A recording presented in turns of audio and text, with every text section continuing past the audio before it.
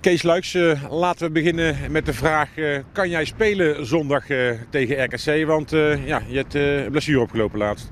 Ik ga er wel vanuit dat ik kan spelen. Ik heb met ja, wat, wat oefeningen gedaan, waarbij ik in het begin dacht van nou, er wordt helemaal niks.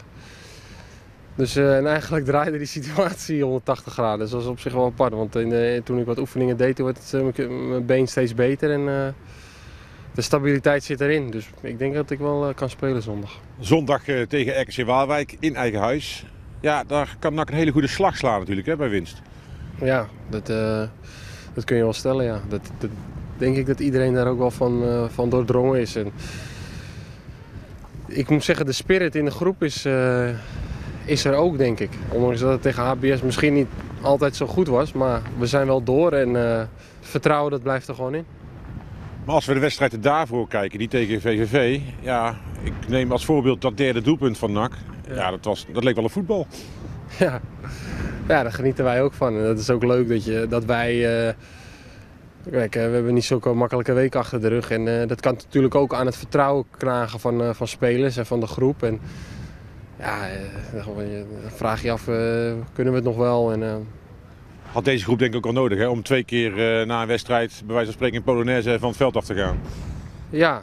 RKC, als we naar die ploeg kijken, ja, die lijken een beetje in een eh, herfstdipje te zitten.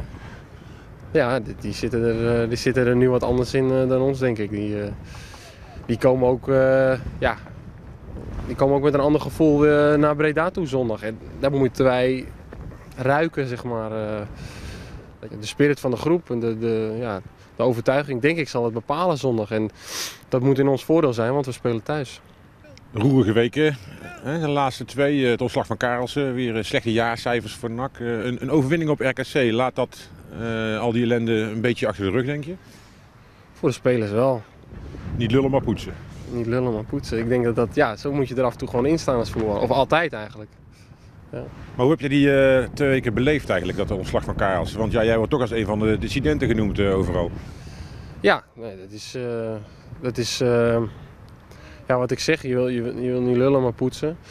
Maar je wordt toch, ja, omdat je niet echt kan verdedigen, word je toch in een, in een ja, zomaar in een hoekje gedrukt van jongens die ervoor hebben gezorgd voor het ontslag. Goed, kijk, ik weet, ik weet precies hoe het is gegaan. En dat, uh, dat heeft Jelle zo naar buiten gebracht. En zo is het ook gegaan. En ja, dat andere mensen echt letterlijk verhalen verzinnen.